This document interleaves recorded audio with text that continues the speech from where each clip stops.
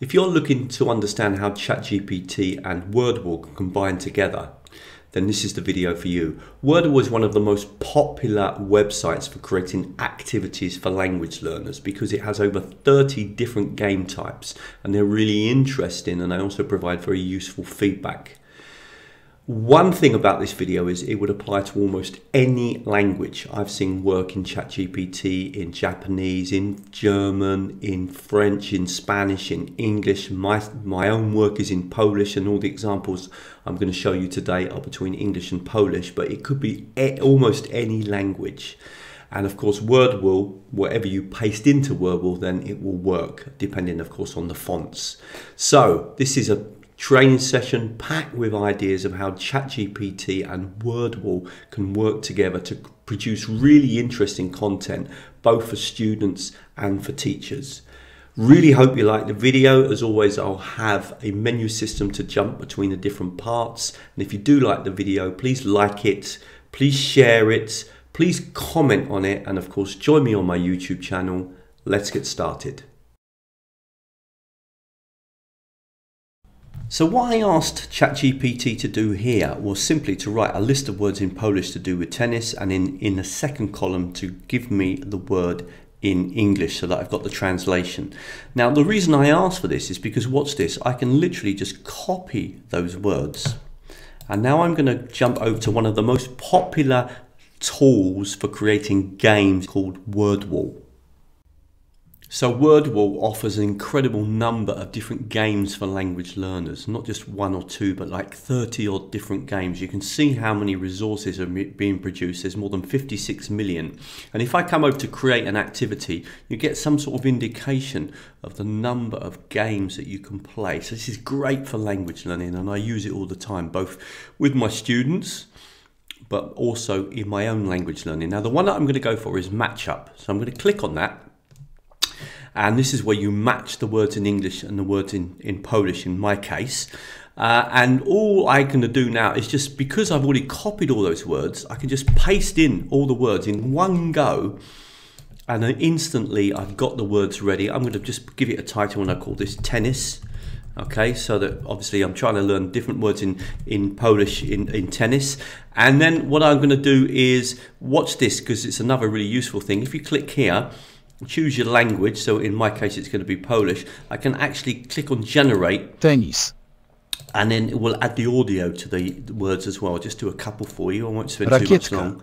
So obviously you'd have to go through if you wanted to add all the audio and that could be in French or Spanish or German or Chinese or whatever language you're learning. And then you click on done and the game is ready. Now let's just quickly play the game so you can see how the game works. Very simple game this one. It just simply is that I've got to match the words, but notice some of the words have got audio included. So for example, I've got rakieta and I can click on it. Rakietka. And then ra rakietka, sorry, I've said it wrong. Uh, that's one of the reasons why it's a good idea to have the pronunciation. And I've just got to basically drag all the words in. And then once I finish, I would submit the answers and it's going to tell me if I'm wrong or right. Now I'm going to show you some more ideas with WordWall, but if you want to learn it in detail, then I'm going to put a video on the screen now that you can click on that will go through WordWall right from the beginning, all the different games and different ways that you can set up activities. I'm going to carry on now with some more ideas working with ChatGPT and WordWall together. Now this next idea is going to, you're really going to see the power of WordWall and also ChatGPT. What I'm going to do is I'm going to ask ChatGPT, and I've already put the instructions in here, but I'm going to click on the button. I've asked it to use the vocabulary and to write me a story in Polish about playing tennis. Uh, to write this story about a boy who's playing tennis and wants to join the tennis league so that he can improve his tennis and I want it. I want ChatGPT to use the vocabulary that I want to practice. So this is a really typical thing for me to do. I've got those keywords that I want to practice, and so a brilliant idea now is to put these words into a story. Use this story and put it into WordWall and create it into a game. Okay. Now it's quite writing quite a long story. So one thing you can do with ChatGPT, if you think the story is too long, you can ask it, can you make this story a little bit shorter? And it will do that. Yeah. So for example, this story here is quite long. Um, and I can just say to, I can say, can you write the same story but slightly shorter and slightly easier Polish. Okay, and it will reproduce that story for me, but maybe in, in a shorter text and with easier Polish. And that's one of the things that you've got to learn about ChatGPT to kind of have a conversation with it and ask it to change and adapt the material that you ask it to produce.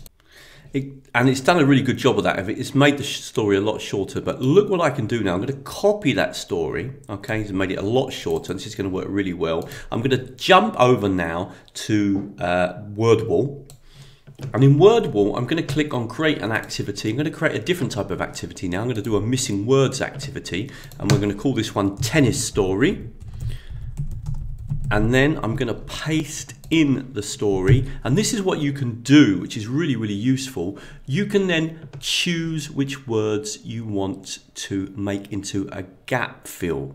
So I can click click on words that are to do with tennis that I want to practice okay? So for example I'm going to choose uh, trenera so I'm going to click on that word and add that as a turn into a gap seal. And I'm going to click on um, I'm going to put ligi.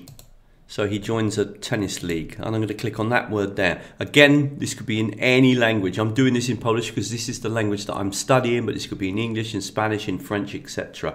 And I'm going to click on the word wygrał because that means to win and that's quite a useful word to practice. And then I'm going to come down here and uh, look on another word um, and we'll choose the word, okay, okay. Now, let's do one more. Um, do a strong catch, success, success, success. So I'm going to click now on done.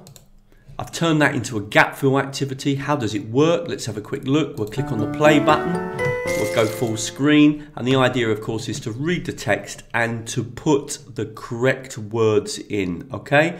So I know that this one is, for example, osiągnąć osiągnąć, osiągnąć success, okay?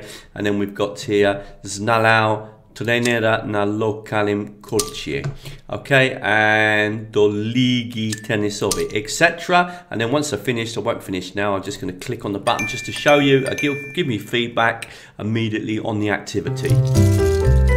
Now, just before I move on with some more ideas for WordWall, I'm just going to point out to you that on the screen now is a video that you might be interested in. It's about using AI to study languages, and it's very similar to this video with lots of ideas around AI tools that we can use. Okay, in this next activity, what I, I want to show you is how we can, um, and it's interesting what I've done here. What I've asked for is I've asked for a series of nouns connected to tennis in Polish and a series of verbs. So again, this could be in any language that you want to practice. And what I've asked for is to give me these verbs uh, and these nouns, but with no translation. Now again, see what I can do here is that I can create a game. I'm going to click over on copy. I'm going to jump over again to WordWall we're going to jump over to WordWall. We're going to click on create activity and this time we're going to do group sort.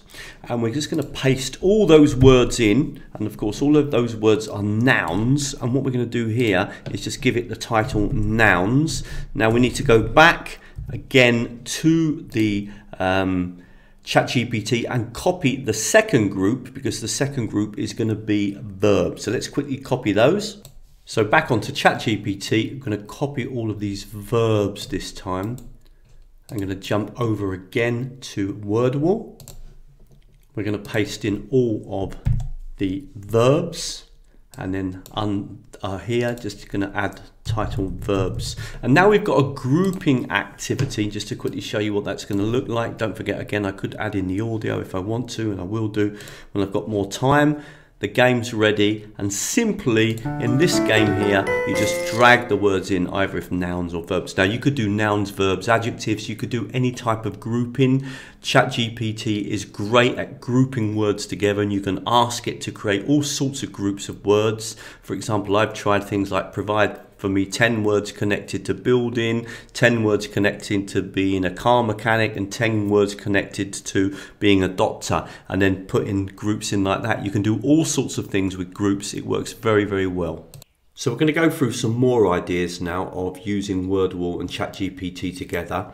But if you're a teacher and you're looking for advanced ideas on ChatGPT, there's a lovely video on the screen now with lots of really interesting and creative ways of using ChatGPT with your students.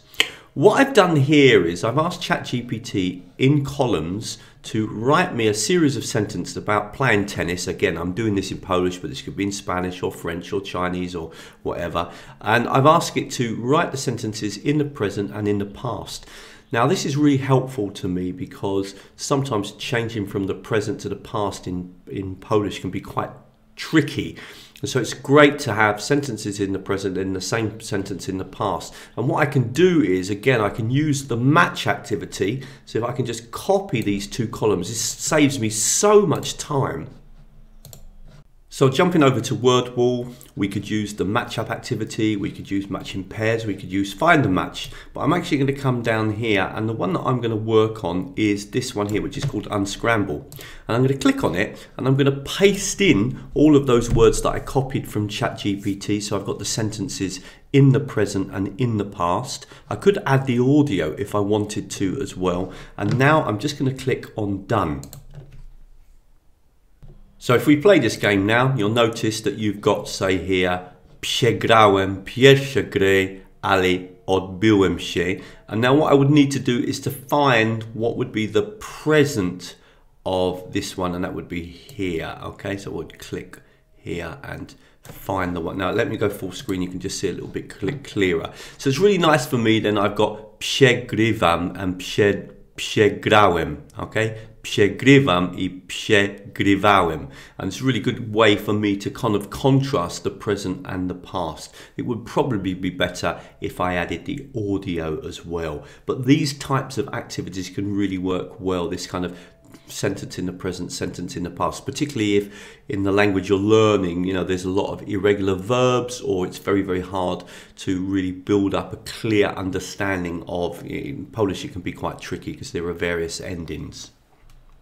Okay, I really hope you liked that video. Please come over to teachertrainingvideos.com for more videos. You've got the whole section here at the top of different menu items, but you can also scroll down and see some of the most popular videos on the front page.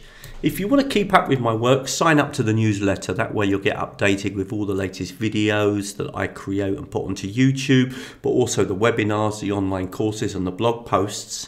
And at the moment, if you sign up, there's a free 14 part video course in using technology in language teaching. And don't forget also, if you want to contact me about doing some training with your organization or even with you as an individual, you can contact me from the website. And thank you very much. I'm going to leave some more videos now on the screen about ChatGPT.